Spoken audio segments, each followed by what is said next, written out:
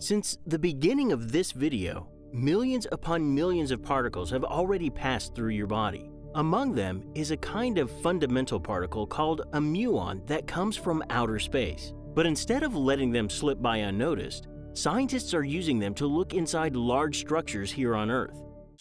Inside Science.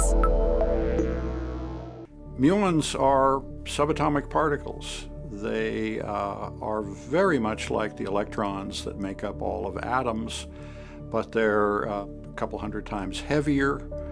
Uh, they're unstable. They only last for a millionth of a second or so before they decay.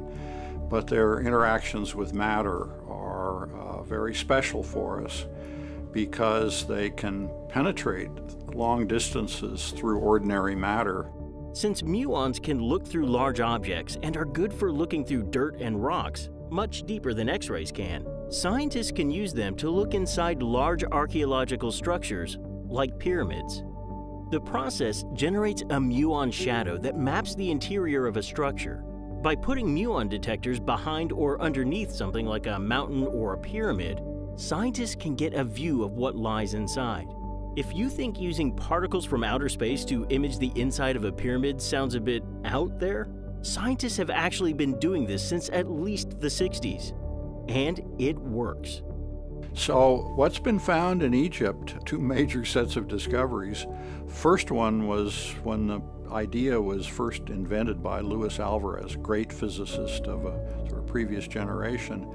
Uh, he discovered in the second large pyramid in Giza that there were no tunnels in that one, or, or caverns, or big chambers. More recently, groups from Japan and Europe uh, reproduced essentially the Alvarez experiment in the big pyramid, the Great Pyramid, and they seem to have found a whole new system of tunnels and things inside that pyramid. Nowadays, researchers want to use the method to look at pyramids in Belize.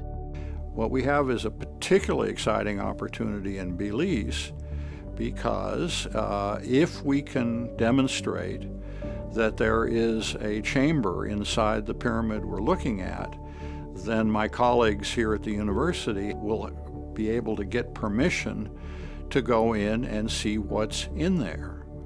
And that is potentially uh, extremely exciting, uh, with even uh, uh the possibility of finding uh, books and manuscripts which have never survived the rigors of the sort of jungle environment in, the, in this hemisphere. The technique allows archaeologists to look at historic sites without the risk of destroying precious ancient artifacts and geologists can look at caves and volcanoes without climbing down into them or getting too close to tunnels full of hot lava. This is Inside Science.